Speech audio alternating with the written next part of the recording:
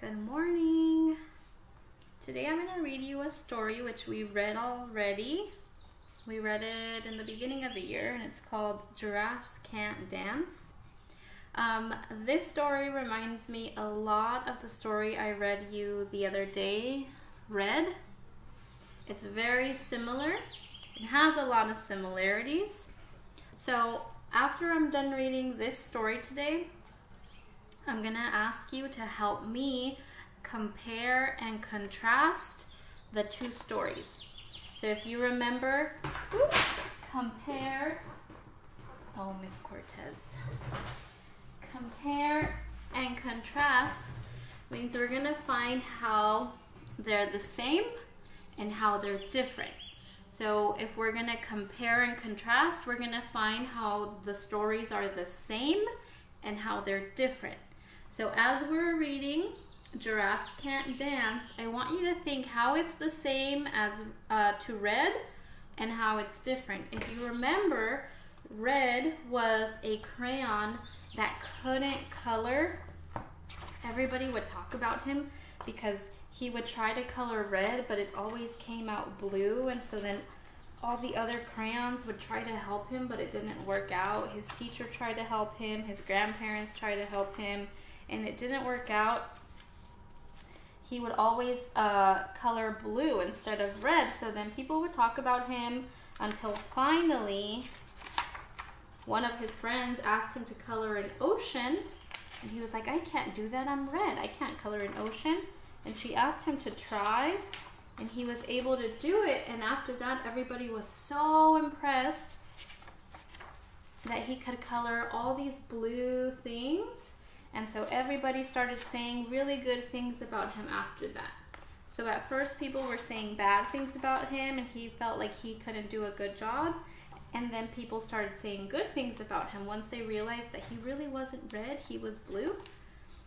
So I want you to think how that story is kind of the same as Giraffes Can't Dance and how is it different. Okay, ready? So, Giraffes Can't Dance by Giles Anderson and Guy Parker Rees. So, this is a fiction story, also, it's not real. Giraffes Can't Dance. To my cousin at Sandbags, Giles, for Phi, John, Rod, and Andy from Guy. Giraffes Can't Dance. Gerald was a tall giraffe whose neck was long and slim, but his knees were awfully crooked and his legs were rather thin. So remember him? Mm -hmm. So that's Gerald. Sorry, I'm going to try to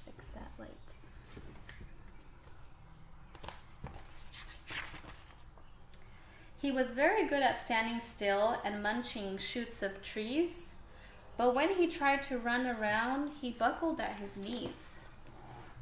So he was good at eating, but he wasn't very good at moving around.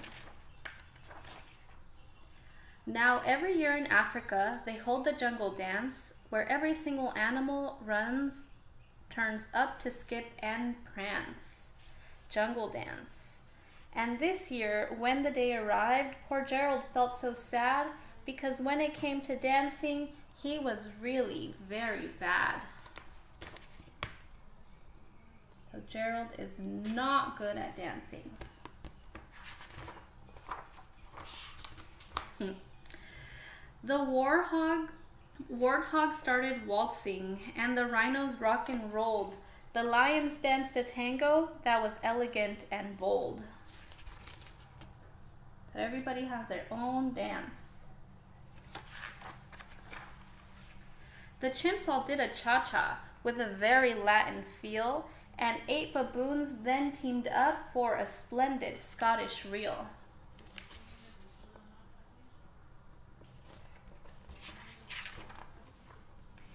Gerald, Gerald swallowed bravely as he walked toward the floor, but the lion saw him coming and they soon began to roar. hey, look at clumsy Gerald, the animals all sneered. Giraffes can't dance, you silly fool. Oh, Gerald, you're so weird. Uh-oh.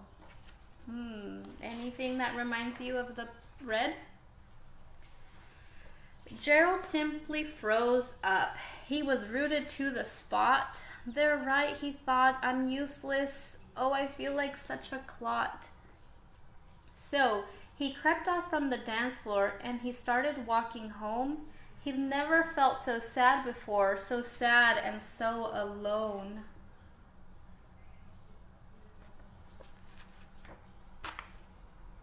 Then he found a little clearing and he looked up at the sky. The moon can be so beautiful, he whispered with a sigh. Excuse me, coughed a cricket who'd seen Gerald earlier on, but sometimes when you're different, you just need a different song.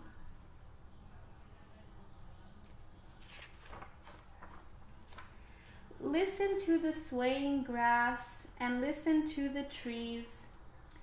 To me, the sweetest music is the branches in the breeze. So imagine that the lovely moon is playing just for you. Everything makes music if you really want it to.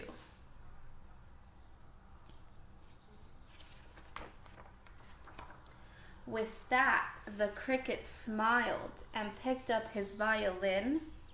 Then Gerald felt his body do the most amazing thing. His hooves had started shuffling, making circles on the ground. His neck was gently swaying, and his tail was swishing round. What's happening to Gerald? He threw his arms out sideways and he swung them everywhere. Then he did a backward somersault and leapt up in the air. Look at Gerald go. Gerald felt so wonderful. His mouth was open wide. I am dancing, yes, I'm dancing, I am dancing, Gerald cried. He's so excited, so happy. Then, one by one, each animal who'd been there at the dance arrived while Gerald boogied on and watched him quite entranced. They shouted, It's a miracle! We must be in a dream. Gerald's the best dancer that we've ever, ever seen. Hmm, does that remind you of anything?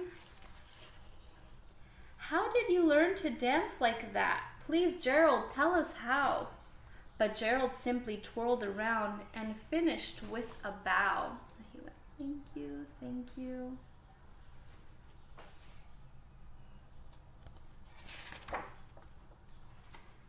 Then he raised his head and looked up at the moon, at the star, at the moon and stars above. We all can dance, he said, when we find music that we love. The end. Okay, now you're gonna help me find some similarities and some differences to red so how are these two books the same? How are they different? Let's compare and contrast them. And we're to use this information for our journal today. Okay?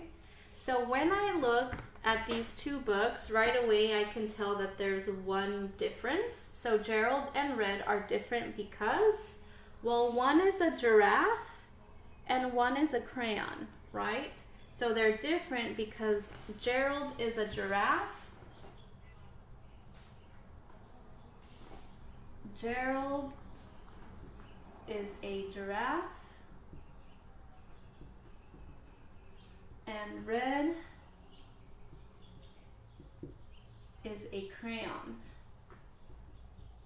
Uh-oh, it didn't fit. And red is a crayon. And I have to capitalize Gerald and Red because that's their name. And remember, if it's a name, it has to be capitalized. Red is a crayon. Period. Okay, how are they the same? Let's think about the story. What happened in the story that was similar or the same for both of them? How are they similar? Hmm, how are they similar? Well, if I remember in the story, they both seem to be pretty different. So Gerald and Red are similar because they both don't really fit in with everybody else. So they are similar because they don't fit in. They're not like everybody else, they're different. Okay, how else are they similar or different? Again, if I think back in the story, what's the same and what's what's different in the story?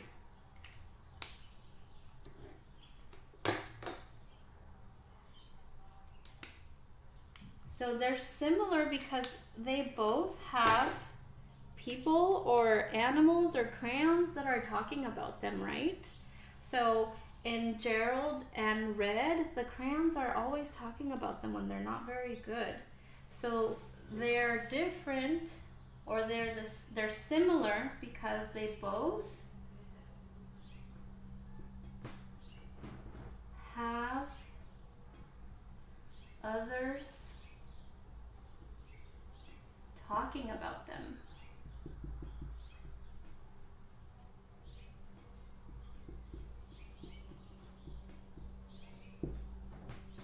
Okay? And how are they different? How are Gerald and Red different? Well, I know that they're different because, well, if Gerald is a giraffe, in the story he dances, right? And then Red colors. So they're both trying to be good at different things. Gerald is trying to be a good dancer, and Red is trying to be a good color. So Gerald dances. Mm, it's not to fit. Dances and red colors. So that's, they're different. How else are they the same? We're going to think of at least one more or two ways that they're the same.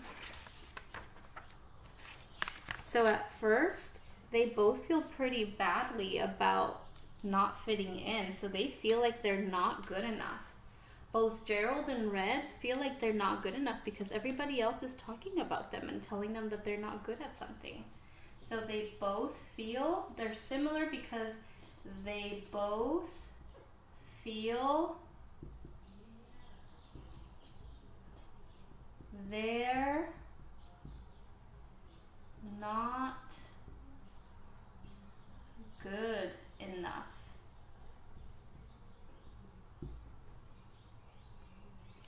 Okay, they both feel they're not good enough. And then if I think of the story also, they're pretty similar. How did both stories end? Did they have a happy ending?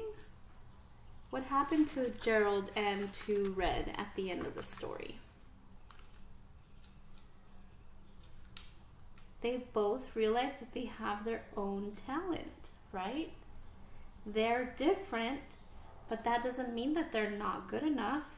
They're just different. They have a different talent. Just like I told you that you and I and everybody else is good at different things, right? We all have different talents. So we can say that Gerald and Red are similar because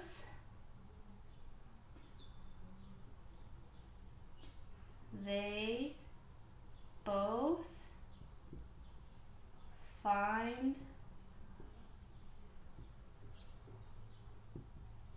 their talent. So by the end of the story, they both find their talent. Gerald finds a way to dance and Red finds a way to color. Okay? So there are more similarities than there are differences, and that's okay. You're gonna use these for your journal writing today, okay? So you're gonna pick one way that Gerald and Red are similar, and you're gonna pick one way that Gerald and Red are different. And you can use these. If you can come up with another one, that would be great. These are just some of them. So if you come up with another way that they're the same or that they're different, then you can go ahead and put that in your journal today. Okay? Good job. I hope you like the story and can't wait to see your journal.